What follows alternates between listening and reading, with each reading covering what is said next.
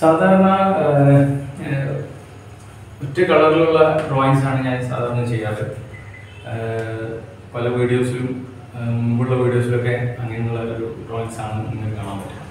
പക്ഷേ ഇപ്രാവശ്യം നമുക്ക് കുറച്ച് വ്യത്യസ്തമായിട്ട് കളർഫുൾ ആയിട്ടുള്ള ഒരു ഡ്രോയിങ് അല്ലെങ്കിൽ ഒരു ആർട്ട് വർക്ക് ചെയ്യാം എന്നുള്ള ഒരു ശ്രമം ആണ്. അത് ഒരു ഫിയർലെസ് ആയിട്ട് എങ്ങനെ നമുക്ക് ചെയ്യാം? സാധാരണ ഈ ചിത്രം വരക്കുന്ന പലരും നേരിടുന്ന ഒരു പ്രശ്നം എന്ന് വെച്ചാൽ ഒരു ഒരു പേടിയാണ്. ഡ്രോയിങ് ചെയ്യുന്നത് എന്തോ ഒരു എന്തോ ഒരു വലിയ എന്തോ കാര്യം. ആരോ ആരോ കണ്ടു കഴിഞ്ഞാൽ അത് എന്ത് വിചാരിക്കും എന്നൊക്കെ ചിന്തിച്ചുകൊണ്ടുള്ള ഒരു ഡ്രോയിങ്സ് കാണിക്ക് ചെയ്ത് ചെയ്ത ഡ്രോയിങ്സ് മറ്റുള്ളവരെ കാണിക്കാൻ ഒരു ഭയം. അങ്ങനെയുള്ള പ്രശ്നങ്ങളൊക്കെ തുടക്കക്കാർക്കുണ്ട്. അപ്പോൾ അതിന്റെ ഒന്നും ആവശ്യമില്ല. ഡ്രോയിങ് എന്ന് പറഞ്ഞു കഴിഞ്ഞാൽ നമ്മുടെ സ്വന്തം. ആരെയും ബോധിപ്പിക്കേണ്ട ആവശ്യമൊന്നുമില്ല. ഒരാളെ മാത്രം ബോധിപ്പിച്ചാൽ മതി. അത് നമ്മളെ തന്നെയാണ്. നമ്മളെ ബോധിപ്പിക്കുക. അല്ലെങ്കിൽ നമുക്ക് സാറ്റിസ്ഫൈഡ് ആയി കഴിഞ്ഞാൽ അത് മറ്റുള്ളവർക്കും സാറ്റിസ്ഫൈഡ് ആവും. അതാണ് അതിന്റെ ഒരു സൈക്കോളജി അപ്പോൾ ഒരു പേടിയും വേണം ധൈര്യമായിട്ട് വരക്കുക അതാണ് വരേണ്ട ഒരു ഇത്. അപ്പോൾ നമുക്ക് തൽക്കാലം ഞാൻ എന്റെ കയ്യിലുള്ള കുറച്ച് കളേഴ്സ് എടുത്തിരിക്കുന്നത് റെഡ് എടുത്തു. ഇത് രസമുള്ള വളരെ എന്താ പറയുക അക്കാഡമിക്കലായിട്ടുള്ള ഒരു ഡ്രോയിങ് ശൈലിയൊന്നല്ല ഞാൻ ഇവിടെ കാണിക്കാൻ പോകുന്നത്. എനിക്കെന്നെ അറിയില്ല ഇത് എന്താ വരാൻ പോകുന്നത് ഇതിന്റെ അത് ഒരു മുൻധാരണയില്ലാതെ ഒരു വര. അപ്പോൾ അതെങ്ങനെ വരച്ചിട്ട് നമുക്ക് വിജയിപ്പിക്കാം? എന്നൊക്കെയാണ്. അപ്പം ആദ്യം ഞാൻ റെഡ് എടുത്തു. റെഡ് എന്താണെന്ന് അറിയാം എനിക്ക് ഭയങ്കര ഇഷ്ടമുള്ള കളേഴ്സ് റെഡ് യെല്ലോ ഇതുപോലുള്ള വാം കളേഴ്സ് ഒക്കെ ഭയങ്കര ഇഷ്ടമാണ്. അപ്പോൾ റെഡ് എടുത്തിട്ട്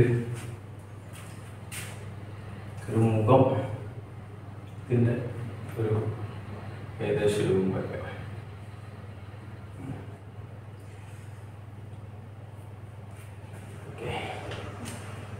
ഇനി വേണമെങ്കിൽ ബ്രഷ് മാറ്റാം. Thank you.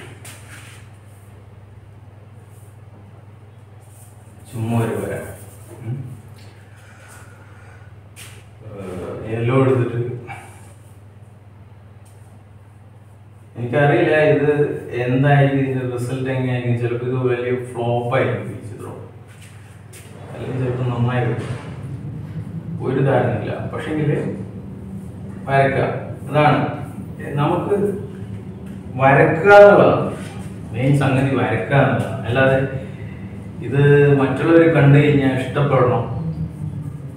ഞാൻ ഭയങ്കര സംഭവമാണ് എന്നൊക്കെ കാണിക്കാനുള്ള ഒരു സംഗതി സംഭവം ആവും അത് നമ്മൾ വരച്ച് വരച്ച് വരച്ച് വരച്ച് തെളിയുമ്പോൾ സംഭവമായി മാറും പക്ഷേ അത് നമ്മൾ മറ്റുള്ളവരെ ബോധിപ്പിക്കാൻ വേണ്ടിയിട്ടുള്ള ഒരു ആവാൻ പാടില്ല. അത് നമുക്കിങ്ങനെ വരക്കുക അതിന്റെ റിസൾട്ട് സ്വാഭാവികമായിട്ട് വരും. ചിലപ്പോൾ അത് നന്നാവും. ചിലപ്പോൾ അത് ഫ്ലോപ്പ് ആവും. പക്ഷേ എല്ലാവരും ഒരു എക്സ്പീരിയൻസ് ആയിട്ട് കാണാം. ഒരു രസകരമായിട്ടുള്ള ഒരു അനുഭവമാണ്. നമ്മൾ ഫ്രീ ആയിട്ട് വരക്കുമ്പോൾ ഒരു എൻജോയ്മെന്റ് ഉണ്ട്. ആ അതാണ് സുഖം. അല്ലാതെ ഇത് ഈ വരച്ചിട്ട് നമുക്ക് കിട്ടുന്ന എന്താ പറയുക ഒരു പ്രതിഫലമല്ല അതിന്റെ സാറ്റിസ്ഫാക്ഷൻ മറിച്ച് വര വരക്കുമ്പോൾ ഉണ്ടാവുന്ന ഒരു സാറ്റിസ്ഫാക്ഷൻ പിന്നെ വരച്ച് കഴിഞ്ഞാൽ ഉണ്ടാകുന്ന സാറ്റിസ്ഫാക്ഷൻ ഇപ്പം ചില ചില ആർട്ടിസ്റ്റുകളൊക്കെ പറയുന്നത് നല്ലൊരു ധിക്കാരിയാണ് നല്ലൊരു കലാകാരൻ. ധിക്കാരം എന്ന് പറഞ്ഞു കഴിഞ്ഞാൽ പെരുമാറ്റം മറ്റുള്ളവരോട് വളരെ മോശമായിട്ട് വളരെ റൂഡായിട്ട് പെരുമാറിയാൽ ദേഷ്യപ്പെട്ട് പെരുമാറുക എന്നുള്ളതല്ല. ധിക്കാരത്തോടുകൂടി അനുസരണമില്ലാത്ത രീതിയിൽ പെരുമാറുക എന്നുള്ള അത് സമൂഹത്തോട് തന്നെ ഒരു ധിക്കാരപരമായിട്ടുള്ള സമൂഹം കൊണ്ടുവന്ന വഴിയിൽ ചിലപ്പോൾ ഒന്ന് മാറി സഞ്ചരിക്കും. അതൊക്കെയാണ് ഒരു ധിക്കാരം എന്ന് പറയുന്നത്. അത് എന്തിനു ചോദ്യം ചെയ്യാനുള്ള ഒരു ധൈര്യം. സ്വതന്ത്രമായിട്ട് ജീവിക്കാനുള്ള ധൈര്യം. മറ്റുള്ളവരെ ആരും ഉപദ്രവിക്കാതെ ആർക്കൊരു പ്രശ്നങ്ങളൊന്നും സൃഷ്ടിക്കാതെ വളരെ സ്വതന്ത്രമായി ജീവിക്കുക ഇഷ്ടമുള്ളത് വിളിച്ചു ഇഷ്ടമുള്ളത് വിളിച്ച് പറയാനല്ല മറ്റുള്ളവർക്ക് വിഷമമുണ്ടാകുന്ന കാര്യങ്ങൾ പറയാൻ പാടില്ല പറയുന്നത് അത്ര ശരിയല്ല. അത് പക്ഷെ തെറ്റായ കാര്യങ്ങൾ വിളിച്ചു പറയും. രാജാവ് നഗ്നാണെന്ന് ഏറ്റവും ആദ്യം വിളിച്ചു പറയേണ്ടത് കലാകാരന്മാരാണ്. അതാണ് ഞാൻ ഉദ്ദേശിച്ചത്. പറഞ്ഞ് കാട് കയറില്ല എന്തായാലും നമുക്ക് ഇതിലേക്ക് അപ്പോൾ ഇപ്പൊ ഏകദേശം ഒരു ഒരു ഫേസ് ആയിരുന്നു അപ്പം ഇങ്ങനെയൊക്കെ തന്നെ. അപ്പൊ നമ്മൾ അപ്പം ഇങ്ങനെ ഇങ്ങനൊരു രൂപം വന്നു അപ്പൊ ഇനി നമുക്ക് വേണമെങ്കിൽ ഇതിനെ പെയിന്റൊക്കെ ഇങ്ങനെ ചുമ്മാ അടിക്കുക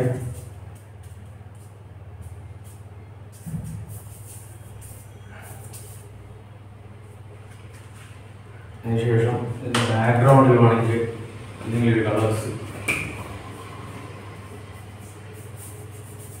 കൊടുത്തിട്ട് ചിത്രം എന്ന് പറയുന്നത് ഒരു വ്യക്തിപരമായ ഒരു ആക്ടിവിറ്റി കൂടിയാണ്. വളരെ വ്യക്തിപരമാണ്. അപ്പം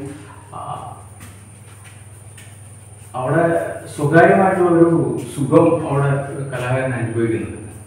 അപ്പം ആ സുഖമാണ് അവനെ വീണ്ടും വീണ്ടും ആ ചിത്രകലയിൽ തന്നെ നിലനിർത്തുന്നത്. പക്ഷേ ഓരോ കാര്യമുണ്ട്. എല്ലാ മനുഷ്യനും എല്ലാ മനുഷ്യർക്കും ഭാവനയും ക്രിയേറ്റിവിറ്റിയും അതുപോലെ ഫാന്റസിയും ഒക്കെ ഉണ്ട്. അപ്പോൾ അത് ചിത്രങ്ങൾ കാണുമ്പം അവർക്ക് അത് എന്താ പറയാ അതൊരു പ്രചോദനമാണ്. ചിത്രം ശരിക്കും പറഞ്ഞാൽ ചിത്രം വരക്കുന്ന അവർക്ക് മാത്രമല്ല ചിത്രം വരക്കാത്ത ആളുകൾക്കും ചിത്രം ഒരു വളരെ പ്രചോദനമാണ്. അതായത് ഇപ്പം നിങ്ങൾ നമ്മളുടെ അടുത്ത് കോടിക്കണക്കിന് രൂപ നമ്മളെ കയ്യിലുണ്ടെങ്കിൽ നമ്മൾ ചിലപ്പം റിച്ചായിട്ട് ഫീൽ ആവില്ല. അല്ലെങ്കിൽ ഞാൻ ഭയങ്കര റിച്ചാണ് ഞാൻ ഭയങ്കര ഒരു സംഭവമാണ് ഫീൽ ഉണ്ടാവില്ല ആ ബാങ്കിൽ ഉണ്ടാവും. നമ്മൾ ചിലപ്പോൾ വളരെ പിശിക്കുകയായിരിക്കും ജീവിക്കുക. അതേ സമയത്ത് നമ്മുടെ വീട്ടിൽ അല്ലെങ്കിൽ നമ്മുടെ ഓഫീസിൽ ഒരു നല്ലൊരു റിച്ചായിട്ടുള്ള ഒരു പെയിന്റിങ് അവിടെ ഉണ്ടെങ്കിൽ ആ പെയിന്റിങ് കാണുമ്പോഴൊക്കെ തന്നെ ആ ഉള്ളിൽ ഞാൻ ഭയങ്കര റിച്ചാണ് എന്നുള്ളൊരു ഫീൽ ഓട്ടോമാറ്റിക് ഉണ്ടാവും. അതാണ് ചിത്രത്തിന്റെ ഒരു പ്രത്യേകത. ചിത്രങ്ങളുടെ ഒരു പ്രത്യേകത. അപ്പോൾ ചിത്രം എന്ന് പറയുന്നത് എല്ലാ എല്ലാവർക്കും അത്യാവശ്യമായിട്ടുള്ള ഒരു ഘടകം തന്നെയാണ് ജീവിതത്തിൽ. ചിത്രം ശരിക്കും സ്വാധീനിക്കുന്നുണ്ട്. ചിത്രത്തിന്റെ വില നമ്മൾ മനസ്സിലാക്കണം. ആർട്ടിസ്റ്റിന്റെ വില നമ്മൾ മനസ്സിലാക്കണം. പക്ഷേ കേരളത്തിൽ എത്രത്തോളം അത് ജനങ്ങൾ എത്രത്തോളം ആക്സെപ്റ്റ് ചെയ്തതിന് ചിത്രകാരന്മാരെ എത്രത്തോളം അംഗീകരിക്കുന്നുണ്ട് എന്നുള്ള കാര്യത്തിൽ കുറച്ച് സംശയമുണ്ട്. കാരണം ഇവിടെ എന്താ പ്രശ്നം എന്ന് വെച്ചാൽ ഇവിടെ മീഡിയ അതായത് ഇവിടെ എഴുത്ത് മാധ്യമങ്ങളാണ് കൂടുതലാണ് അതായത് എഴുത്തുകാരനായി കഴിഞ്ഞാൽ ഭയങ്കര സംഭവമാണ് ഇവിടെ കഥ പറയുന്നവരും അതുപോലെ നോവലിസ്റ്റുകളും കവികളും ഒക്കെയാണ് എന്താ പറയുക ജനങ്ങൾക്ക് കൂടുതൽ താല്പര്യം. അതെന്തുകൊണ്ടാണെന്ന് വെച്ചാൽ ഇവിടുത്തെ നമ്മുടെ നമ്മുടെ ഒരു വായന സംസ്കാരം അതൊക്കെ നല്ല മെച്ചപ്പെട്ട ഒരു സംസ്കാരമുണ്ട്. പക്ഷെ അത് വായന എന്ന് പറയുന്നത് ചിത്രകലയെയും കൂടി അപ്പോൾ എന്താ ഇവിടെ സംഭവിച്ചതെന്ന് വെച്ചാൽ ഇല്ലുസ്ട്രേഷൻ ആർട്ടിസ്റ്റുകളെയാണ് കൂടുതൽ ഇവിടെ കലാകാരന്മാരായിട്ട് തന്നെ കാണുന്നത്. ഇരുപത്തിനാല് മണിക്കൂറും പെയിന്റും കളറും എന്താ പറയുക ക്യാൻവാസും ഒക്കെ ആയി ജീവിക്കുന്ന ചിത്രകലയ്ക്ക് വേണ്ടി ജീവിതം ഒഴിഞ്ഞു വെച്ച എത്രയോ കലാകാരന്മാരുണ്ട്. പക്ഷെ അവരൊന്നും കലാകാരന്മാരായി പോലും ഇവർ എണ്ണൂല. സാധാരണ പല ആളുകളും. അതേസമയത്ത് എന്താ പറയാ മാതൃഭൂമി അല്ലെങ്കിൽ ഞാൻ പ്രത്യേകിച്ച് പറയുന്നില്ല മനോരമ ഇതുപോലുള്ള ഏതെങ്കിലും ഒരു മാസികക്കോ അല്ലെങ്കിൽ ഏതെങ്കിലും പത്രത്തിനോ വേണ്ടി കാർട്ടൂൺ വരയ്ക്കുകയോ അല്ലെങ്കിൽ എന്താ പറയുക ഇലിസ്ട്രേഷൻ കഥകൾക്ക് ഇലിസ്ട്രേഷൻ ചെയ്യുകയോ ചെയ്യുന്ന ഒരു ആർട്ടിസ്റ്റ് അവിടെ ഭയങ്കര വലിയ സെലിബ്രിറ്റി ആയിട്ടുള്ള ആർട്ടിസ്റ്റാണ് അത് അവരെക്കാട്ടി വലിയ ആർട്ടിസ്റ്റുകൾ വേറെ ഇല്ല. അങ്ങനെയുള്ള ഒരു ധാരണ അത് എനിക്ക് തോന്നുന്നു മാധ്യമങ്ങളാണ് ഈ ആർട്ട് ആർട്ടിനെയൊക്കെ പ്രൊമോട്ട് ചെയ്യുന്ന ഒരു രീതി. അതായത് മാധ്യമം പണ്ട് ഇപ്പം മാറി ഇപ്പം നവമാധ്യമങ്ങൾ വന്നതോടുകൂടി സംഗതി മാറി. പക്ഷെ പഴയ കാലങ്ങളിൽ എന്താ പറയുക ഈ പത്രത്തിൽ ഒരു ഫോട്ടോ വരിക അല്ലെങ്കിൽ ഒരു ചെറിയൊരു കോളം വന്നു കഴിഞ്ഞാലാണ് ഈ കലാകാരനെ ലോകം അറിയുന്നത്. അപ്പോൾ സ്വാഭാവികമായും പത്രങ്ങൾ ആരെയാണ് പ്രൊമോട്ട് ചെയ്യുക? പത്രങ്ങൾക്ക് വേണ്ടി ജോലി ചെയ്യുന്ന ആളുകളാണ് അപ്പം സ്വാഭാവിക ഇലിസ്ട്രേറ്റഡ് ആയിട്ടുള്ള ആർട്ടിസ്റ്റുകളായിരിക്കും കലാകാരന്മാർ. മറ്റുള്ളവരും എന്തോ അവർ വെറുതെ അവർക്ക് പ്രാന്താണ് അവർക്ക് വെറുതെ ചുമ്മാ അവർ വെറുതെ സമയം കൊല്ലുകയാണ് അല്ലെങ്കിൽ എന്താ പറയുക അവരെ ലൈഫ് വേസ്റ്റ് ചെയ്യുന്ന തരത്തിൽ അവരെ മാറ്റി നിർത്തും പിന്നെ ഒന്നോ രണ്ടോ ആർട്ടിസ്റ്റുകൾ അവരെ അവർക്ക് വേണ്ട ആർട്ടിസ്റ്റുകൾ അവർ പ്രൊമോട്ട് ചെയ്യുന്നുണ്ട്. അവരൊക്കെ പരസ്യം എന്താ പറയുക മാധ്യമങ്ങളായിട്ട് നല്ല ബന്ധം സ്ഥാപിക്കുന്നുണ്ട്. അതായത് ഞാൻ ഉദ്ദേശിക്കുന്നത് ഈ പത്രമാധ്യമങ്ങളൊക്കെയാണ് ഉദ്ദേശിക്കുന്നത്. പക്ഷെ ഇന്ന് അങ്ങനെ മാറിയത് ഇപ്പം എന്താ പറയുക യൂട്യൂബ് അതുപോലെ ഫേസ്ബുക്ക് ഇൻസ്റ്റാഗ്രാം ഇതുപോലുള്ള സംഭവങ്ങൾ വന്നതോടുകൂടി നമ്മുടെ ടാലന്റും അതുപോലെ നമ്മുടെ ആർട്ടും ഒക്കെ ലോകത്തിന് മുന്നിൽ കാഴ്ചവെക്കാൻ സാധിക്കുന്നു. പുറമേയുള്ള ആർട്ട് നമുക്ക് കാണാനുള്ള ഒരു സാഹചര്യം ഉണ്ട് അപ്പോൾ സംഗതി മാറുന്നുണ്ട്. പക്ഷേ ഈ ആറ്റിറ്റ്യൂഡ് എന്തായാലും മാറണം. അതായത് കലാകാരൻ എന്ന് പറയുന്നത് അല്ലെങ്കിൽ കല എന്ന് പറയുന്നത് മനുഷ്യന്റെ എന്താ പറയുക സാഹിത്യം ഒരു സാഹിത്യം പോലെ തന്നെ അല്ലെങ്കിൽ മറ്റ് സിനിമ പോലെ തന്നെ ഏറ്റവും വേണ്ട ഒരു സംഗതിയാണ്. അപ്പോൾ ഞാനിപ്പോൾ ഏകദേശം ഒരു സാധനം ഇവിടെ വന്നിട്ടുണ്ട് ചെയ്തിട്ടുണ്ട്. അപ്പോൾ ഇത് ഇത് ഇതിൽ ഞാൻ സംതൃപ്തനല്ല എന്തായാലും. അപ്പോൾ എന്താ ചെയ്യുക ഞാൻ കുറച്ചും കൂടി ചെറിയ മാറ്റങ്ങൾ വരുത്തുന്നു. അപ്പം ഇന്ത്യൻ ഇങ്ക് വിട്ടുള്ള കളിയില്ല? അപ്പോൾ ഇന്ത്യൻ ഇങ്ക് ഉണ്ട്. അപ്പോൾ അതിന്റെ ഒരു ഡ്രോയിങ് ഇതിനൊരു ഔട്ട്ലൈൻ പോലെ അല്ലെങ്കിൽ അതിന് മുമ്പ് കുറച്ച് എല്ലോ ഇതിന്റെ അകത്തൊക്കെ കൊടുക്കുകയാണെങ്കിൽ രസം ഉണ്ടാവും വിചാരിക്കുന്നത് നമ്മളെന്താ ഫീൽ ചെയ്യുന്ന അതാണ് ചെയ്യുന്നത് അല്ലാണ്ട് ചുമ്മാ എന്താ പറയുക വളരെ എന്താ പറയുക മാസ്റ്റർ പ്ലാനിങ്ങോടുകൂടി അല്ലെങ്കിൽ എന്താ പറയുക വളരെ മുൻധാരണയോടുകൂടി നമ്മൾ ചിത്രത്തെ സമീപിക്കരുത് ആ സമയത്ത് നമുക്ക് എന്ത് ഫീലാണ് വരുന്നത്? അവിടെ അതാണ് നമ്മൾ വരുന്നത് അന്നേരം ഒരു സ്പോണ്ടേനിയസ് ആയിട്ടുള്ള റിസൾട്ട് ഉണ്ടാവും. ചിലപ്പോൾ ഫ്ലോപ്പ് ആവും ചിലപ്പോൾ അത് വിജയിക്കും. പക്ഷേ നമ്മളത് ട്രൈ ചെയ്യുക. അങ്ങനെ ഒരു എക്സ്പെരിമെന്റ് വഴിയിലൂടെ ഒരു റിസ്ക് എടുക്കുമ്പോഴാണ് നല്ല ആർട്ട് ഉണ്ടാകുന്നതാണ് ഞാൻ മനസ്സിലാക്കിയിരിക്കുന്നത്. അപ്പോൾ ഇത് ഇപ്പോൾ ലെമൺ അല്ല എന്റെ കയ്യിൽ കിട്ടി അപ്പോൾ എന്തായാലും ലെമൺ ഒരു കുറച്ച് മുഖത്തൊക്കെ ഇങ്ങനെ വെറുതെ ചുമ അടിച്ചു കഴിഞ്ഞാൽ അതിന്റെ ഒരു സംഗതി കുറച്ച് മാറും അപ്പോൾ ഞാൻ അല്ല കുറച്ച് അപ്ലൈ ചെയ്തു. മുഖത്ത് കഴുത്തിനൊക്കെ പിന്നെ ഇപ്പം ഞാൻ ഫീൽ ചെയ്തത് എനിക്ക് ബേർഡ്സിനാണ് ബേർഡ്സിന് എവിടെ കൊടുക്കുക? അപ്പം സാധാരണ ബേർഡ്സിനെയും വൈറ്റും റെഡും ഒക്കെ മിക്സ് ചെയ്തിട്ടാണ് ഈ ഫേസ് അല്ലെങ്കിൽ എന്താ പറയാ സ്കിന്നൊക്കെ ഉണ്ടാക്കുന്നതൊക്കെയാണ് പറയാൻ ഏഹ് പക്ഷേ ഞാൻ അങ്ങനെ അല്ലാതെ ജസ്റ്റ് ഒരു ആ സമയത്ത് ഇങ്ങനെ ഫീൽ എനിക്ക് നമുക്ക് തോന്നുന്നു ഇങ്ങനെ ഇതൊക്കെ ഒന്ന് ചെയ്ത് കഴിഞ്ഞാൽ നന്നാവും എന്നുള്ള അല്ലെങ്കിൽ മൈൻഡിൽ എന്താ ഇവിടെ ഇങ്ങനെ ഷെയ്ഡ് വരും സാധാരണ. ഈ ചിന്നിന്റെ അപ്പോൾ അത് അവിടെ നിന്ന് ഡാർക്ക് കൊടുത്തു. ഒരു എന്തോ ഒരു സംഭവമായി മാറിയിട്ടുണ്ട്. പിന്നെ കുറച്ച് ഗ്രീനിന്റെ കുറവുണ്ട് അപ്പോൾ കുറച്ച് ഗ്രീൻ എടുക്കുക ഗ്രീൻ എടുത്തിട്ട്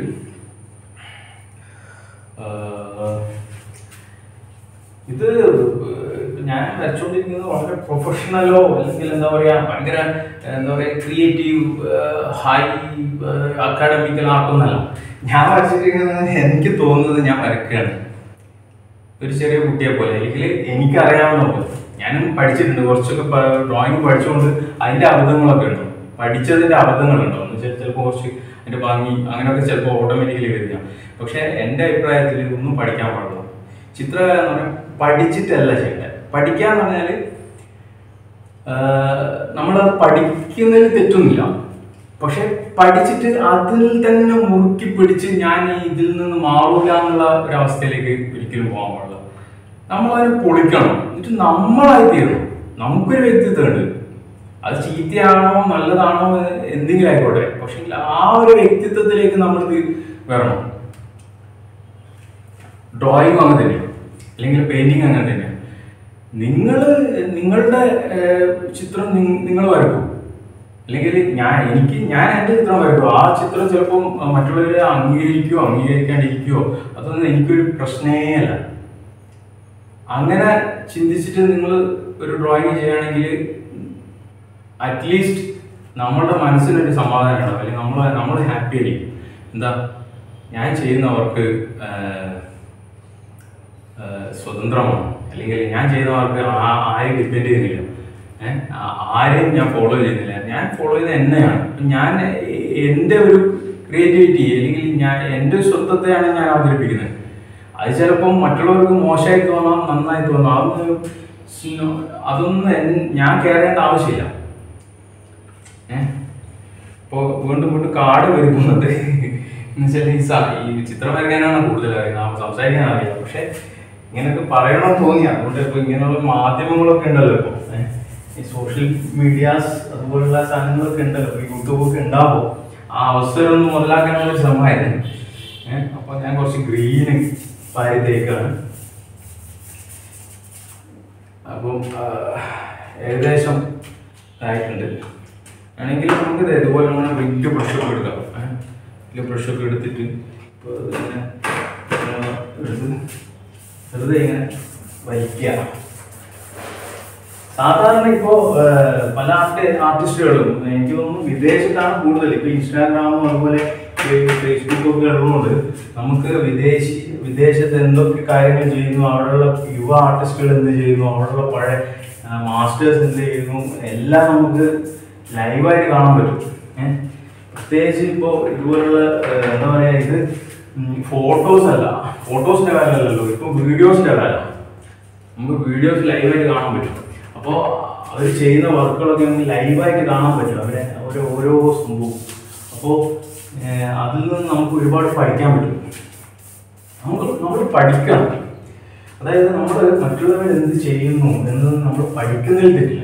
പക്ഷെ നമ്മൾ അതിനെ ഫോളോ ചെയ്ത് അതാണ് ശരി എന്ന് പറഞ്ഞു പോകരുത്. ശരി നമ്മൾ മാത്രം. ആർട്ടിന്റെ കാര്യത്തിൽ നമ്മൾ എന്ത് ഞാൻ ഞാനൊരു വര അതിന് കുറച്ച് വളവ് വന്നു.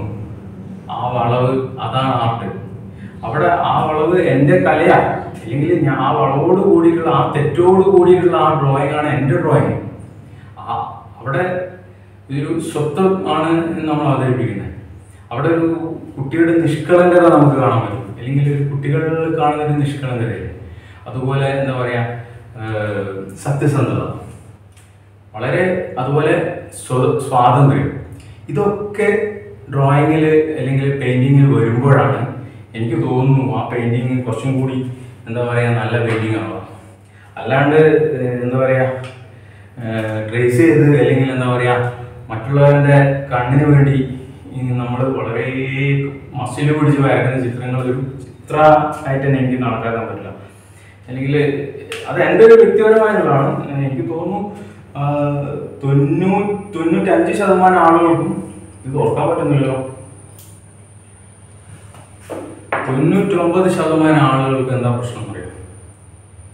ഈ മറ്റുള്ളവരെ ഹാപ്പി ആക്കാൻ വേണ്ടിയിട്ട് വരക്കുക എന്നുള്ളത്.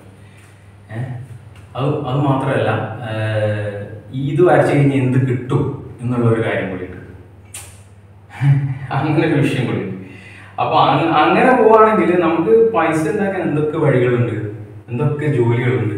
ചിത്രകല എന്ന് പറയുന്നത് പൈസ ഉള്ള ഒരു വലിയ മേഖല തന്നെയാണ്. പക്ഷേ ആ പണം അതിന്റെ പിന്നിൽ കുറേ എന്താ പറയുക കുറേ വിഷയങ്ങളുണ്ട്. എല്ലാം സത്യമൊന്നല്ല ബിസിനസ് പണം എന്ന് പറയുന്നത് ഒരു ഒരു മാനിപ്പുലേഷനാണ് മൊത്തത്തിൽ ഏത് വലിയ ബിസിനസ് ആയാലും ഏത് വലിയ ചെറിയ ബിസിനസ് ആയാലും അവിടെ ഒരു മാനിപ്പുലേഷനും അവിടെ ഒരു എന്താ പറയുക കുറേ കള്ളത്തരങ്ങളൊക്കെ ഉണ്ട്.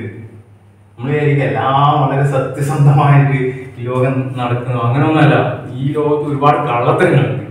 അപ്പോൾ അതുകൊണ്ട് കലയിലുണ്ട് കലന്റെ ബിസിനസ്സിൽ പ്രത്യേകിച്ചുണ്ട്. എന്ന് വെച്ചാൽ ഇവിടെ ഓടിക്കണക്കിന് രൂപ പെയിന്റിങ് വിറ്റു. അങ്ങനെയൊക്കെ പറയുമ്പോൾ അതൊക്കെ എന്ന് വെച്ചാൽ മണി ലോണ്ടറിങ് എന്ന് പറയുന്ന വേറൊരു സംഗതിയായിട്ട് അത് നടക്കുന്നുണ്ട്.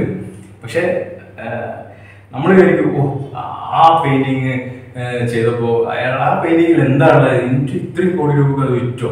അപ്പൊ നമുക്ക് അതുപോലെ ഒന്ന് ചെയ്ത് നോക്കിക്കഴിഞ്ഞാൽ നമ്മളെ ഇത്രയും കോടി രൂപ നമ്മൾ ആ ഒരു ലോബിയിൽ എത്തിപ്പെടുകയാണെങ്കിൽ ഓട്ടോമാറ്റിക്കലി നമ്മളെ പെയിന്റിങ്സും കോടികൾക്ക് കൊടുക്കുകയൊക്കെ ചെയ്യും. നിങ്ങളൊന്നും ചെയ്യേണ്ട ആവശ്യമില്ല. നിങ്ങൾക്ക് എന്ത് എന്ത് വൃത്തികേട് വേണമെങ്കിൽ വരച്ച് വെച്ച് കഴിഞ്ഞാലും ചിലപ്പം കോടികൾക്ക് കൊടുക്കാൻ സാധിക്കും.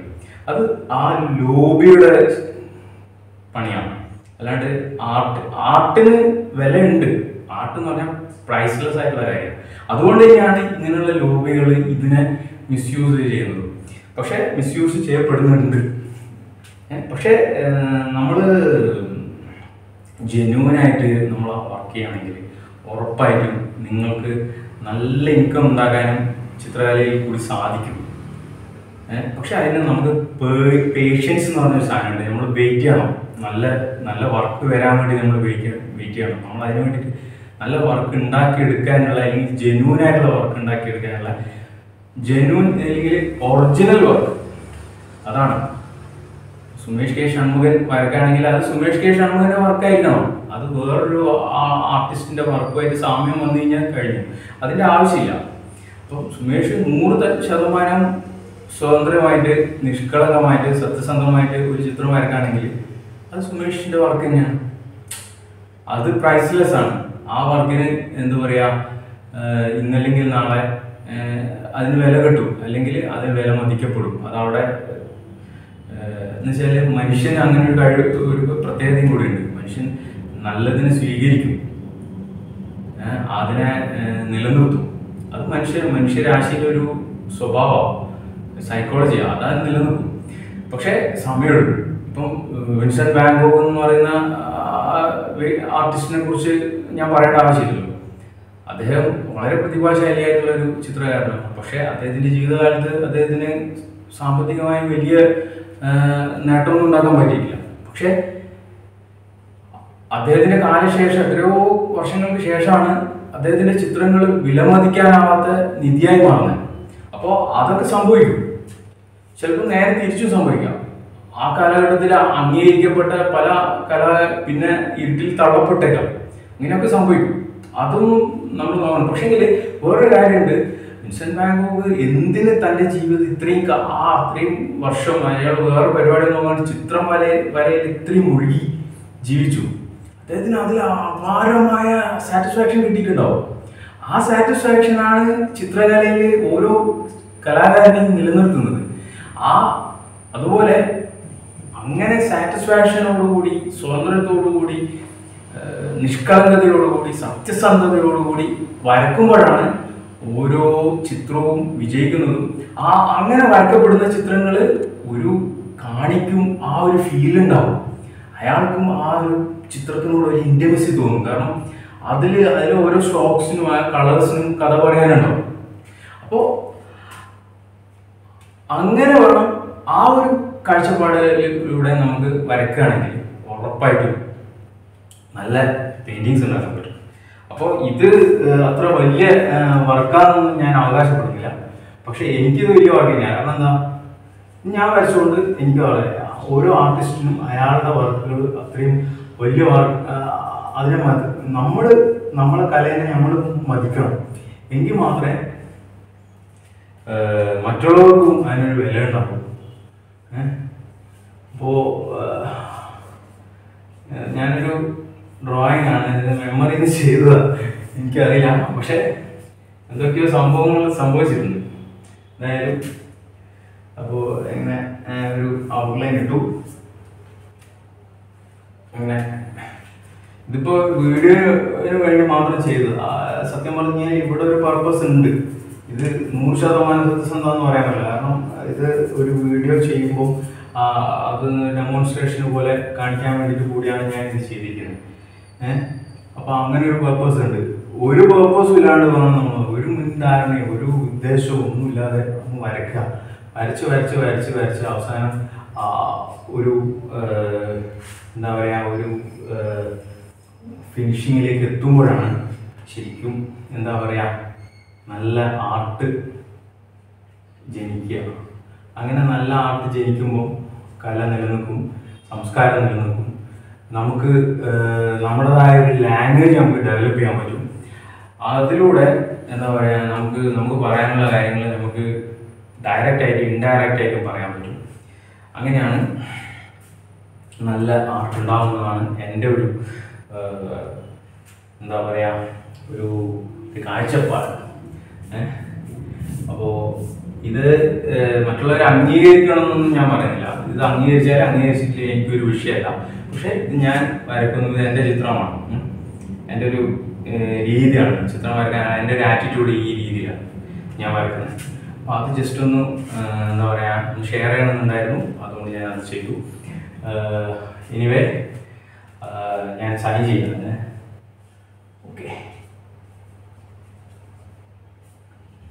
അപ്പം വർക്ക് ഫിനിഷ് ആയിട്ടുണ്ട് thank you thank you very much